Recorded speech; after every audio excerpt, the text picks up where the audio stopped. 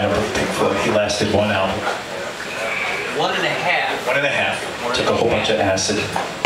Well, you know, you know that they they put it in his coffee. It's half their fault because they put it in his coffee.